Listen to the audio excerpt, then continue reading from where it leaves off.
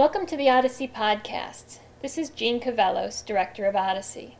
Odyssey is an intensive six week workshop for writers of fantasy, science fiction, and horror whose work is approaching publication quality.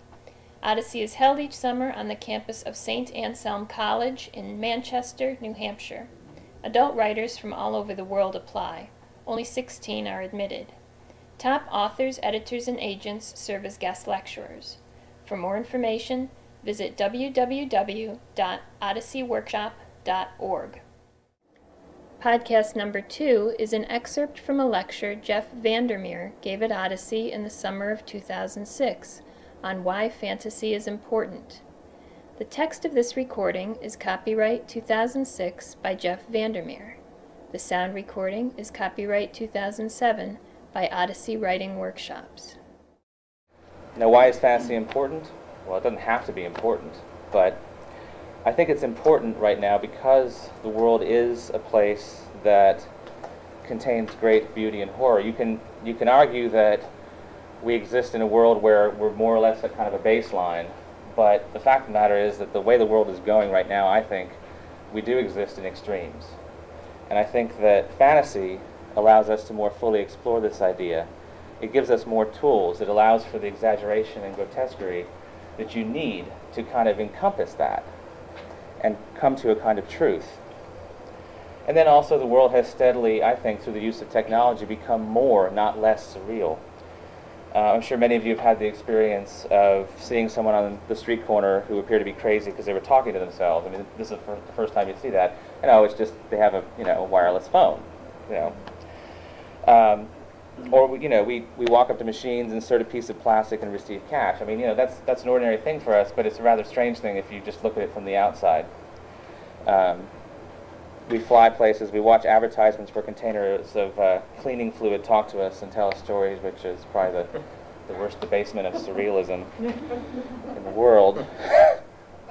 so I think we're living in a fantasy world at this point, um, if you look at it carefully and therefore the idioms and ideas of fantasy can, can speak to us in a way sometimes that mimetic fiction can't. And I think the world has become more surreal because the use of technology has not been accompanied by a consistent or true growth on an intellectual or spiritual level. And therefore we see many dysfunctional uses of technology or irrational uses of technology that only absurdism and imaginative fiction can really help us understand on a human level. And that's another way, I think, in which fantasy, science fiction, and horror can, can speak more truly on a psychological level. And it's also because fantasy fiction can be truer to a psychological reality than realistic fiction because it's not bound to replicate a consensus reality that does not, in fact, at this point exist. In addition, it allows more distance from the world as we know it, and therefore creates more effective opportunities for satire and parody. So these are all different ways that you can use fantasy that I think make it stand out, and again, I'm including science fiction and horror, from mimetic fiction. And I love mainstream realism, um, but there are certain things that it cannot really encompass. Um, now, now that I've said that, I should also say that I think that fiction is a continuum or spectrum defined most accurately by theme, not by genre. I mean, does it really matter in a sense um, whether a story about love or death or politics is set against a realistic or non-realistic backdrop? I mean, certainly in a sense. I mean, Animal Farm is effective because it provides a distancing effect through fantasy.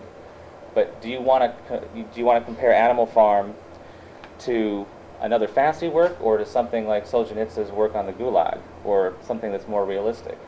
The same thing with like a book like Iain M. Banks's Use of Weapons, which is considered space opera, but it's not really that effective to compare that to other space operas. It's more effective to compare it to a book like Slaughterhouse-Five, which is also about the effects of war.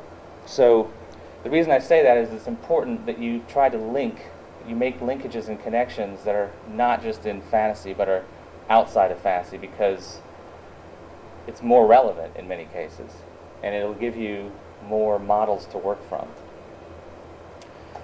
Um, another great example, uh, as a book you should read too if you haven't, is uh, Bulgakov's Fantastical The Master and Margarita, in which the devil comes to visit Moscow. Uh, the book's a marvelous send-up of Soviet writers, uh, but it's also clearly a fantasy. And the fantasy enhances the satirical content, but the book is still more valuable to us linked to other critiques of bad systems than to other books about the devil. So the point I'm trying to make is if you're going to write fantasy, it's not enough to sit down and say, I'm going to write fantasy. You must instead approach the story or novel in the same way you would any piece of fiction, through character, through inspired writing, through story. You can certainly predispose yourself to writing fantasy by immersing yourself in fantasy books, by encouraging yourself to write down ideas that you might not have been willing to try before. But I still believe the basic approach is the same and the themes are the same. It's very important not to divorce, not to set yourself up in a kind of separate place for that reason. Um, a personal or autobiographical aspect is important to talk about. Um, every writer is a product, obviously, of his or her environment. And regardless of whether you write fantasy or realistic fiction, that environment, that personal and social environment shows up in your work. And uh, there's a quote the, the, the, the, fact is, the biographical information does make it into fantasy writing. And it's important that you, you try to access that, that you don't think that when you're writing, for example, heroic fantasy or some kind of you know, quest structure or something like that, that that means that you can't bring a lot of yourself into it. Um, you still have to invest your characters with part of yourself, part of what you observe around you, in addition to bringing your imagination to it. And of course, this can be deeply personal or merely descriptive. Um, in my case, like I may have mentioned last night, Ambergris, uh, my fantasy setting, is more or less a combination of uh, pieces of my childhood, of places that I visited. And sometimes it's quite superficial, and sometimes it's just something that I observed. Uh, for example, in Dradin, In Love, there's a uh, during festival, there's a scene in which there's a group of women who are wearing um, kind of the, or, or, or, or, have those uh, kind of wooden horse things attached to them, and they're like doing out of like a pantomime, and uh, that's more or less verbatim, except with a different description, uh, a trance dance that I saw in Bali that was just insanely bizarre. Um, so you can incorporate these things in a superficial way that's still useful to your, your fantasy as well. Um, it is important to remember this because it is best to write both what you know or have experienced and what interests you. A lot of instructors will say you need to write in you know mainstream literary. You need to write what you what you know, what who you are, you know where you've been. Um, the best advice, of course, is to write what interests you, but you have to kind of combine those two. It's not either or. And the other thing I'm trying to say in a roundabout way is that you can find the fantastical in the real world and in the mundane if you look closely. And that has to do partly with being a good observer or watcher, and sometimes it has to do with kind of setting yourself apart and kind of looking at things from the outside. And as a kind of corollary to this, to me, every setting of every piece of fiction ever written is fantastical in some way. Because it's impossible to truly replicate reality in a piece of fiction. I mean, you have a lot of instructors who try to get you to do that, and what they're really trying to do is get you to give a, a sense of reality, get the reader to suspend disbelief, to believe what it is you're, you're telling them, but you can't actually replicate reality. I mean, if we're truthful with ourselves, then we have to acknowledge that realistic fiction isn't that realistic. I mean, we don't talk in life like we do in fiction. You know, we don't, you know, if you go to a party and you were to, you know, uh, audio tape that conversation, and then you would look at somebody's rendition of a party, it's, you know, it's just simply not the same thing. Or even this room. You know, this room is replicated throughout this college, I'm sure, but this room is very unique in and of itself. And if you tried to sit down and just do a description of this room, you could spend 400 pages, literally. You could if you really, really were detailed, and you still wouldn't truly convey every every nuance of this particular room. I mean, it's just that's not what we do when we write fiction. Although some people think that's what they're doing. And this is just important to remember because it speaks to how you accumulate advice and technique. World building kind of goes along with this. As I know you're aware, readers make certain assumptions about the real world that they do not make about fantastical worlds. A reader does not automatically buy into Ambergris in the same way that uh, they would buy into a story set in Tallahassee. And as a result, fantasy writers have to potentially take greater care with their use of detail, or at least equal care. And I usually approach this the way I would as if I were uh, writing historical novels, basically. It's basically the same thing when you're writing a fantasy book, with a, especially with a secondary world setting. And um, I use by way of example a painter, Dali, who's kind of a cliche now, but if you look at his paintings, you know, they're extremely surreal, right? But if you look on the micro level, every detail is extremely realistic. The way that he gets to there, to that surreal point, is by extreme specific detail, for the most part. Now, world building is itself an endeavor that requires a tremendous amount of work and research.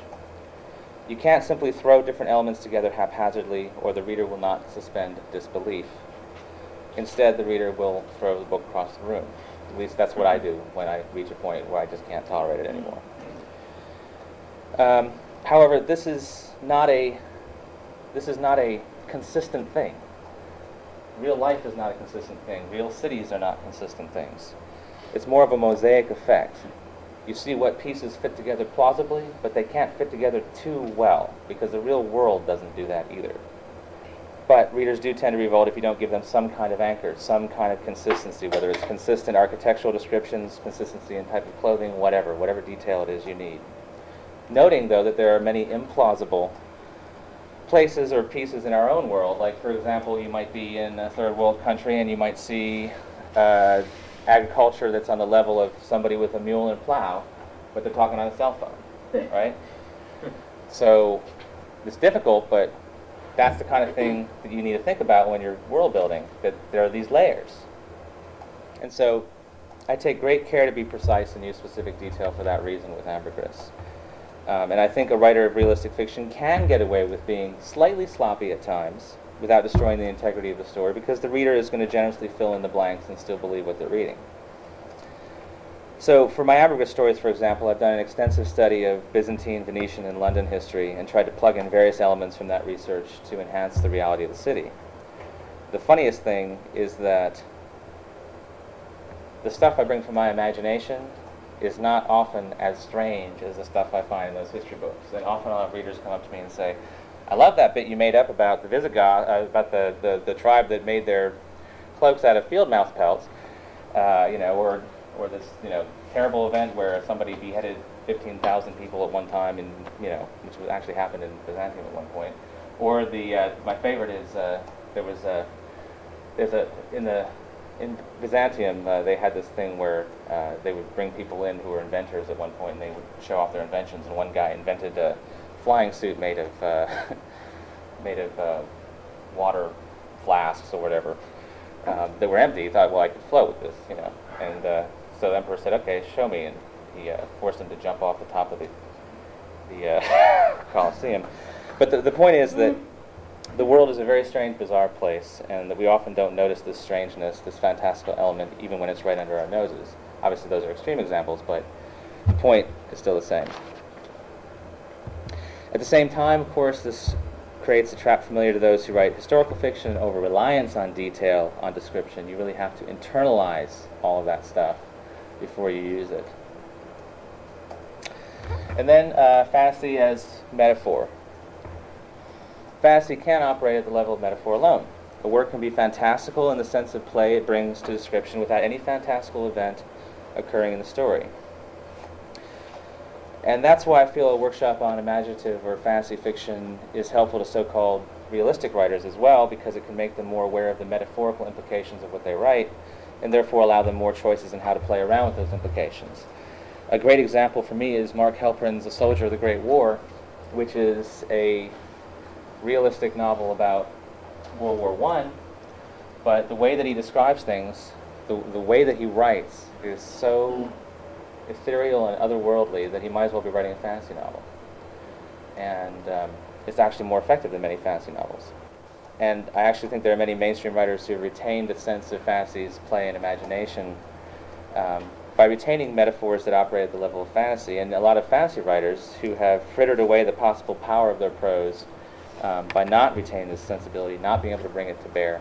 You see um, a lot of fantasy writers use a very invisible style, which is fine, but it is also kind of removing themselves from the possibilities of language um, because I think people are more accepting of that richer language in fantasy because they're already in that mode. The text of this recording is copyright 2006 by Jeff VanderMeer. The sound recording is copyright 2007 by Odyssey Writing Workshops.